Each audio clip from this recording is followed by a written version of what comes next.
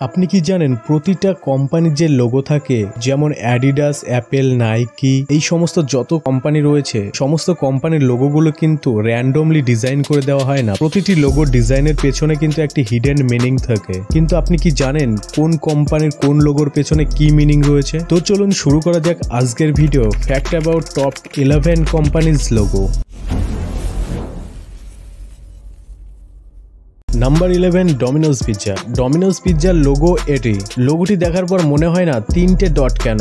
হয় দুটো দুটো, চারটে ডট হতে পারতো বা একটা একটা দুটো ডট হতে পারতো। কিন্তু তিনটে ডট কেন? আসলে রাইট সাইডের যে প্রথম ডট সেটি ডমিনোজ কোম্পানির প্রথম স্টোরকে মিন্ট করে। প্রথম স্টোর অর্থাৎ Domino's first ever physical store আর লেফট সাইডের যে দুটো ডটস রয়েছে, তা দুটো ব্রাঞ্চেসকে রিপ্রেজেন্ট করে। ডোমিনোজ কোম্পানির ওনার টম মোনাঘান ফার্স্ট স্টোর ওপেন করার কয়েক মাস পরে বাকি দুটো স্টোর ওপেন করে। তো ডমিনোজ লোগোর তিন ডটের মিনিং হলো প্রথম ফিজিক্যাল স্টোর আর দুটো ব্রাঞ্চ আর কোম্পানির প্ল্যান ঠিক এমনই ছিল যে যত ব্রাঞ্চ খুলবে, তাদের লোগোতে তত ডট ডিজাইন করা হবে। বাট ডমিনোজ এত তাড়াতাড়ি গ্রো করে আর এত পরিমাণে ব্রাঞ্চেস ওপেন করা হয় যে তা লোগোতে ডিজাইন করা ইম্পসিবল হয়ে পড়ে। আজকের দিনে সতেরো হাজারেরও বেশি ব্রাঞ্চেস এবং physical store all over the ওয়ার্ল্ডে রয়েছে ডোমিনোজ কোম্পানির অ্যান্ড অনলাইন অ্যাপের মাধ্যমে প্রতিদিন মিলিয়ন সেল সেটা তো আলাদা। সাল দু হাজার বারোতে ডোমিনোজ কোম্পানি তাদের লোগো থেকে পিৎজা সরিয়ে শুধু ডোমিনোজ রেখে দেয়। কারণ সবাই এতদিনে জেনে গেছে যে ডোমিনোজ মানেই পিৎজা এখানে বুক মোবাইল বা অন্য কোনো কিচ্ছু পাওয়া যায় না, শুধুই পিৎজা পাওয়া যায়। নাম্বার টেন পেপসি পেপসি কোম্পানির লোগোর এভুলেশন হলো এটা। এই কোম্পানির এখনকার এই লোগোটির একটা ফ্যাক্ট হলো এক মিলিয়ন ডলার অর্থাৎ সাত কোটি টাকা খরচ করে পেপসি কোম্পানি আর এই লোগোর কালার লাল, সাদা, নীল সবসময় আমেরিকার পতাকাকে তুলে ধরে। এবং অবশ্যই এটা একটা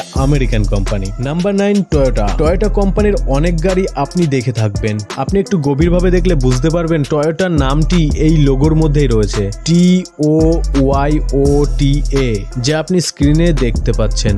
and that's amazing isn't number eight Unilever Fair Lovely Lakme Pond's Lifebuoy Sunsilk Pepsodent Pears Vim dishwash close up Dove Axe and clinic plus যতগুলো কোম্পানির নাম আমি বললাম, সব কোম্পানিগুলো আলাদা আলাদা কোম্পানি না। সব কোম্পানিগুলোর প্যারেন্ট কোম্পানি হলো এই ইউনিলিভার। আর এর লোগো আপনি দেখেই থাকবেন যা ইউ আকারের লেখা থাকে। এর ডিজাইন র্যান্ডম কোনো ডিজাইন নয়, এর মধ্যে ডেইলি ইউজ হওয়া অনেক জিনিস রয়েছে। এই লোগোর মধ্যে চব্বিশটি আইকন রয়েছে। ভালোভাবে দেখলে আপনি দেখতে পাবেন এটা একটা লিপসের আইকন, যা বিউটিকে রিপ্রেজেন্ট করে থাকে। স্পুন বা চামচ, আরও অনেক কিছু, যেমন হেয়ার, যা শ্যাম্পু এবং হেয়ার রিলেটেড প্রোডাক্টকে ডেপিক্ট করে। আর হলো আইসক্রিম কোন?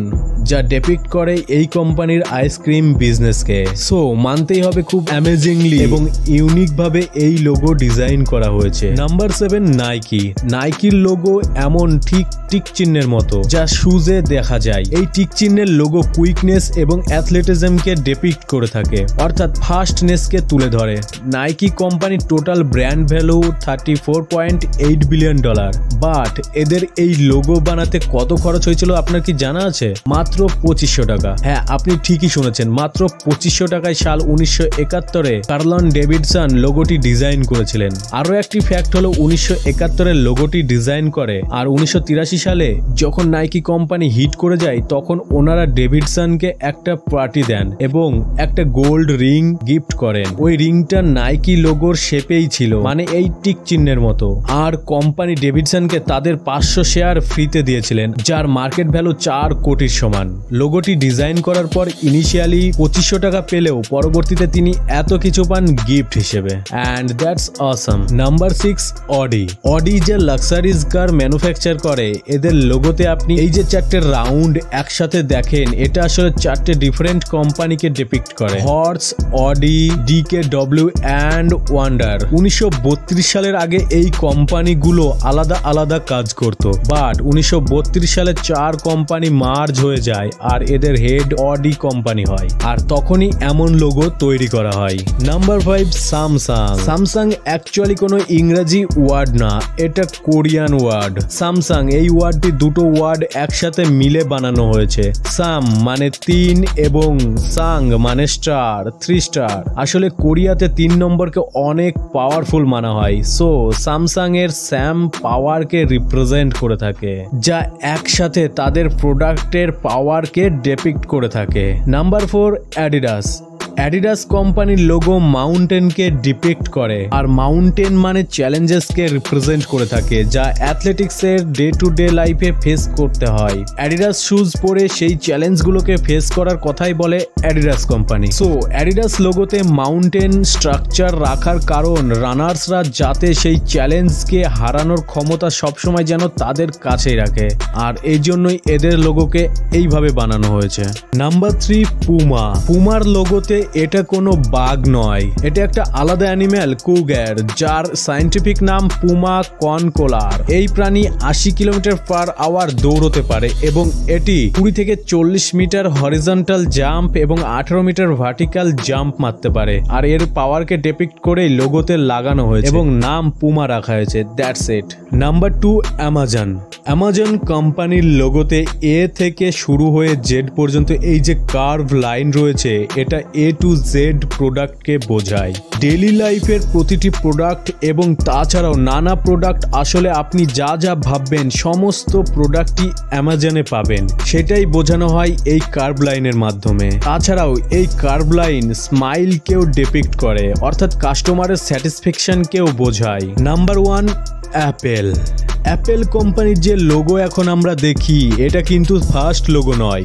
অ্যাপেল কোম্পানির ফার্স্ট লোগো হলো এটি। কোম্পানির নাম যেহেতু অ্যাপেল তাই ছোট থেকে যে গল্প শুনেছি, নিউটনের মাথায় অ্যাপেল পরে আর তিনি গ্র্যাভিটি ডিসকভার করেন, সেই ছবি লোগো বানিয়ে দেওয়া হয়েছিল।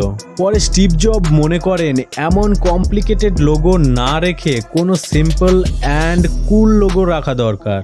তো তিনি রব জেনফ নামের একজন ডিজাইনারকে হায়ার করেন আর তিনি ইনিশিয়ালি এই লোগো ক্রিয়েট করেন, যাতে কাটা আপেল আর তার মাঝে মাল্টিপল কালার থাকে। আর তারপরের অ্যাপেল লোগোর এভুলেশন আপনি স্ক্রিনে দেখতে পাচ্ছেন। বাট সবার মনের একটা কমন কোশ্চেন হলো, অ্যাপেল কোম্পানি অ্যাপেলের লোগো, সব ঠিক আছে, কিন্তু অ্যাপেল কাটা কেন? তো এর অ্যান্সার দু হাজার ষোলো সালে রব জেনফ এক ইন্টারভিউ বলেন গোল আকারের অনেক ফল রয়েছে, যেমন অরেঞ্জ টমেটো এটসেট্রা সবাই কি করে বুঝবে এটা আপেল? আমাদের সবার কমন একটা হ্যাবিট হলো, যখনই আমরা আপেল খাই, তখনই একটা বাইট বা কামড় বসাই, যা ঠিক এমন দেখায়। তো উনি এটা আপেল বোঝানোর জন্যই লোগোতে এমন বাইট আর নিচের দিকে এমন ডিজাইন করে দেন, যাতে সবাই কমন সেন্সে বুঝতে পারে যে এটা Apple that's it and that's the info ভিডিওটি ভালো লাগলে লাইক কমেন্ট শেয়ার করতে ভুলবেন আর আপনি যদি আগে থেকে আমাদের চ্যানেলকে সাবস্ক্রাইব করে থাকেন, তো আপনাকে থ্যাংক ইউ সো মাচ আর আপনি যদি এখনও সাবস্ক্রাইব না করে থাকেন, তাহলে এক্ষুনি সাবস্ক্রাইব করে বেল আইকনটি ক্লিক করে অলে ক্লিক করে দেবেন। যাতে এই চ্যানেলে এমন ইন্টারেস্টিং ফ্যাক্ট ভিডিও আপলোড হলেই সর্বপ্রথম আপনার কাছে গিয়ে পৌঁছয় because you matter to me thank you